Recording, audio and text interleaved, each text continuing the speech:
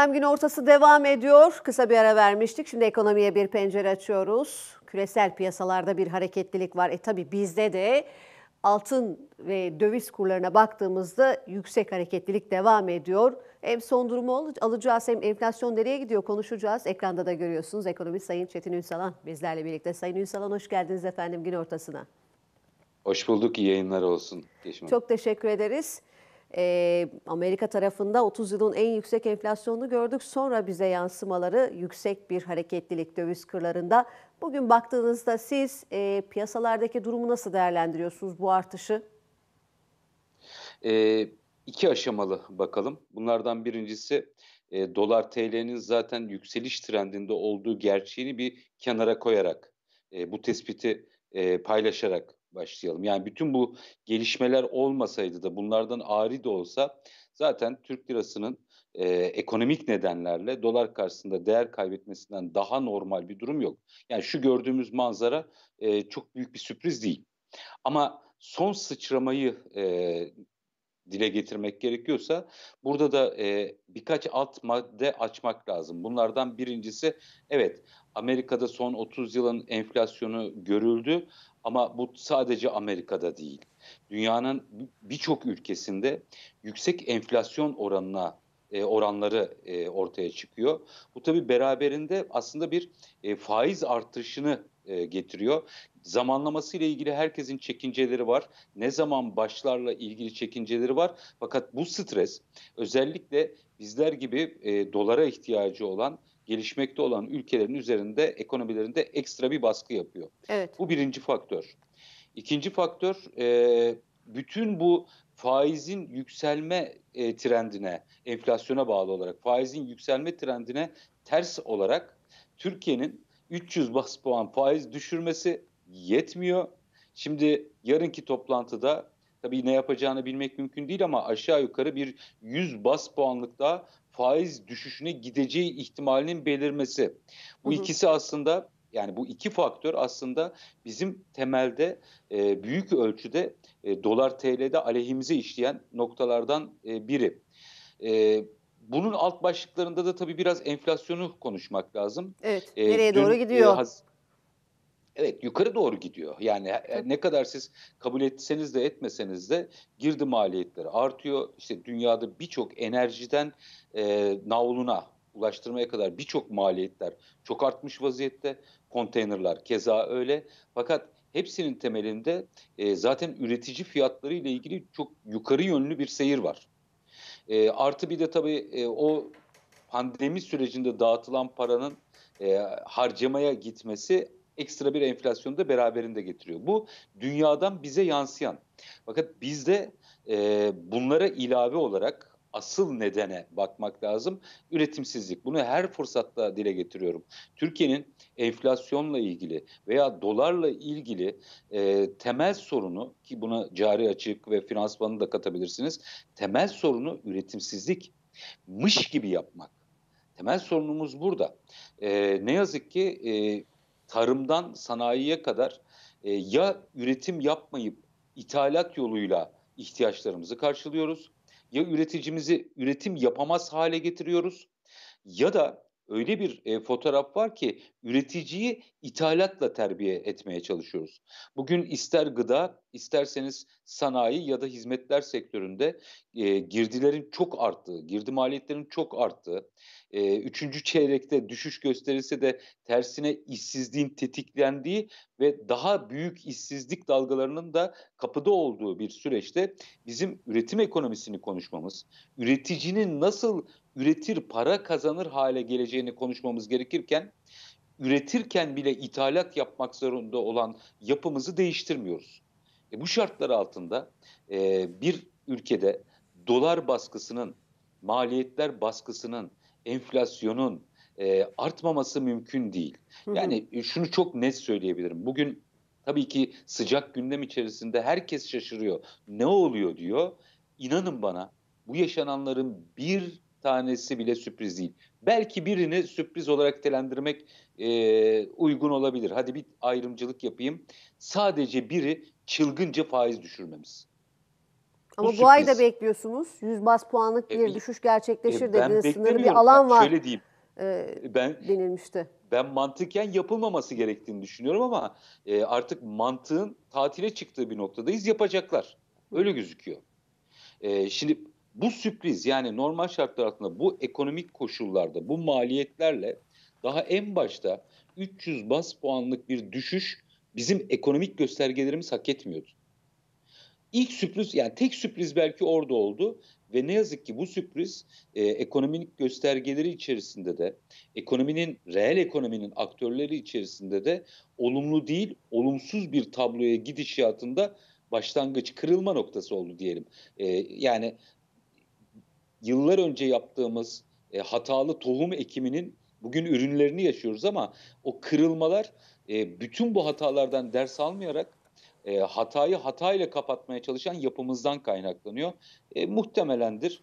Yani şu anda e, yukarı doğru giden dolar TL kuru aslında yarın Merkez Bankası'nın ekonomiye, akla ve e, aslında Türkiye'nin gerçeklerine uygun olmayan bir biçimde faiz düşüşüne gideceğinin fiyatlanmasından başka bir şey değil.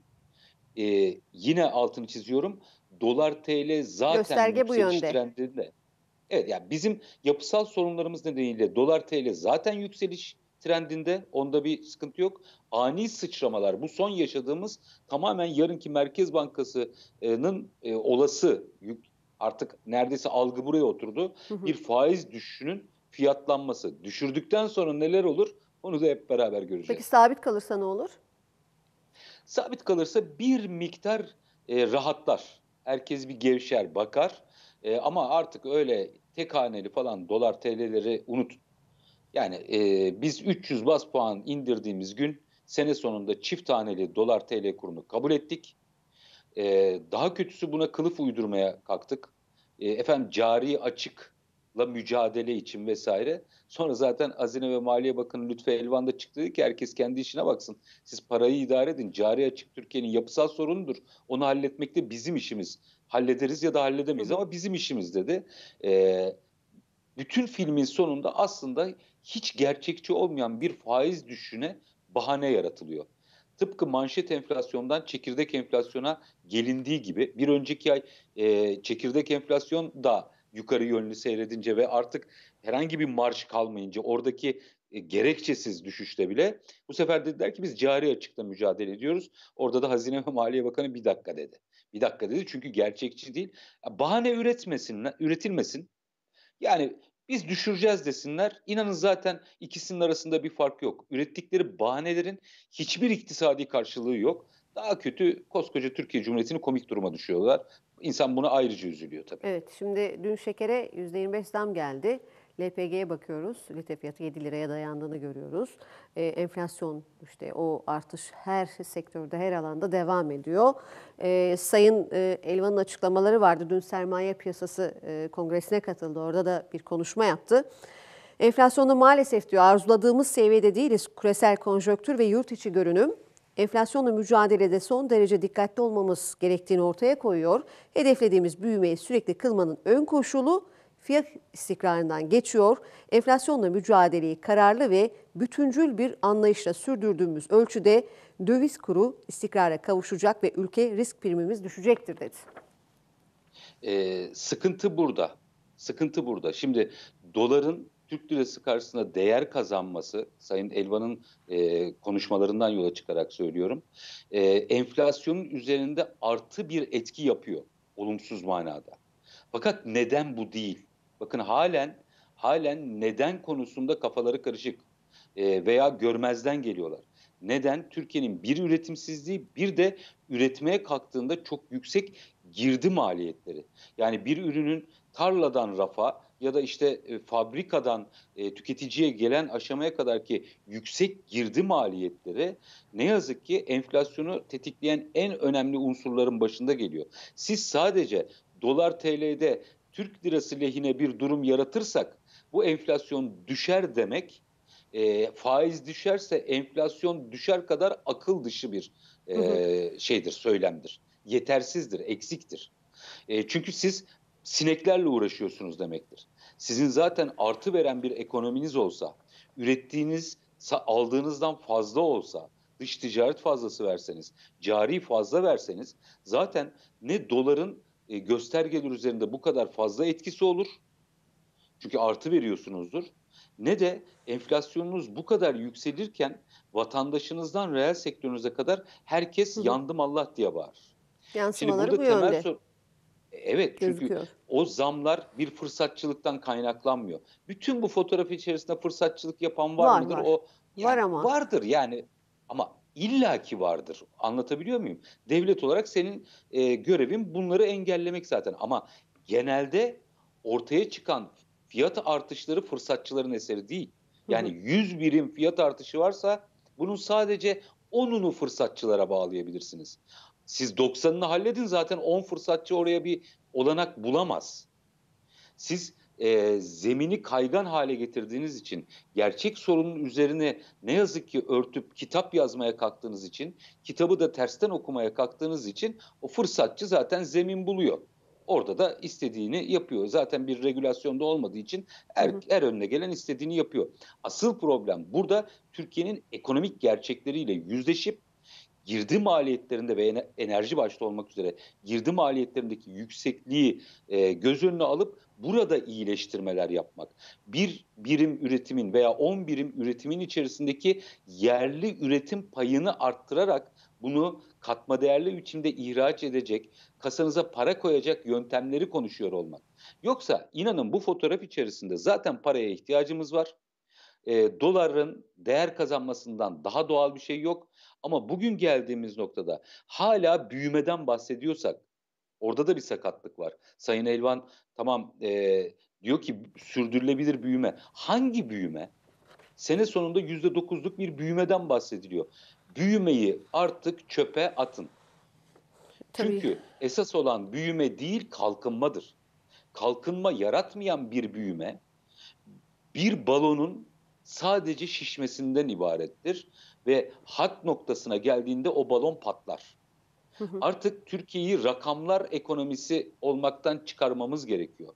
Bir takım istatistiklerle oynayarak, gerçeklerin üzerini çözerek, e, e, örterek, onun üzerinden temellendirerek bir rakamlar ekonomisi yaratıp kalkınmayı, üretimi, katma değeri, istihdamı konuşmadan eğer ekonomiyi yorumlayacaksak ben size garanti edeyim yarın yüzde dokuz değil yüzde otuz büyüme olsun Türkiye'de yine fakirlik olur, yine alım gücü düşer, yine ithalat için paraya ihtiyacımız olur, yine borç ödemek için paraya ihtiyacımız olduğu için dolar TL kuru hı. yükselir. Aynı şeyleri yaparak farklı sonuç elde edemezsiniz. Artık e, ekonomi yönetiminin Türkiye'de kendi yarattıkları bu hatalar silsilesinden kaynaklanan gerçeklerle yüzleşip çözümü konuşması gerekiyor. Büyümeyi değil, kalkınmayı. Bir diğer başlığa da geçmek istiyorum. E, merakla beklenen tabii ki e, hem işçi tarafı hem işveren tarafını merak etti. Asgari ücret hedef ne olur? E, oranlar var konuşulan e, hedeflerle ilgili %24'lük, 33'lük ve 42'lik bir oranlardan bahsediyor. E, genel anlamda uzmanlar. Siz ne düşünüyorsunuz? Asgari ücrette ne olur? Nasıl bir yol izlenir? Tahminimi söyleyeyim önce. Yani Peki. bu bu 3500 liralar artı altı üstü. Oralarda bir yerde bu şekillenir. Ee, yani tahminim bu.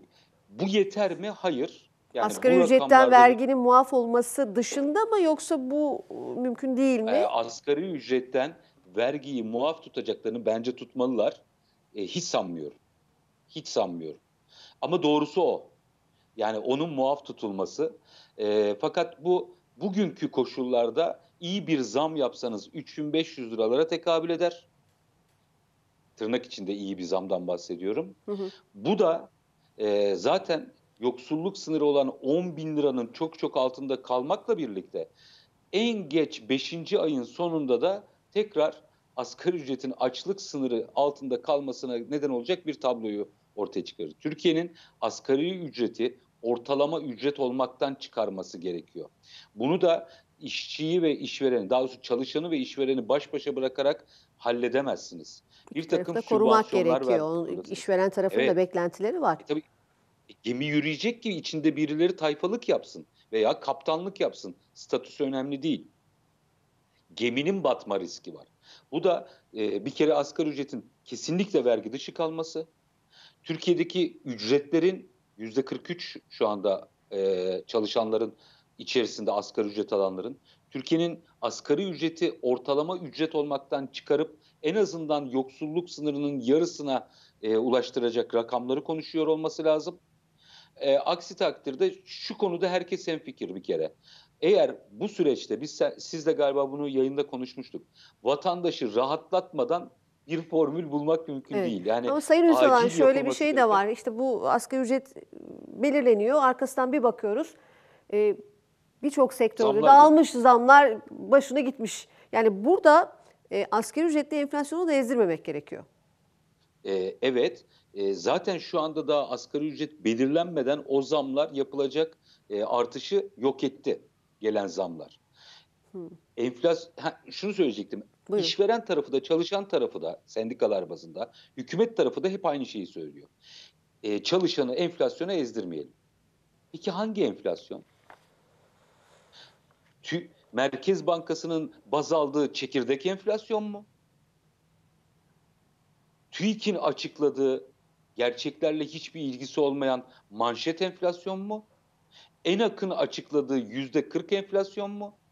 Yoksa yeniden değerleme oranı olarak kamunun bizzat en az enflasyon bu, bu diye deklare ettiği yeniden değerleme oranı olan yüzde 36 mı?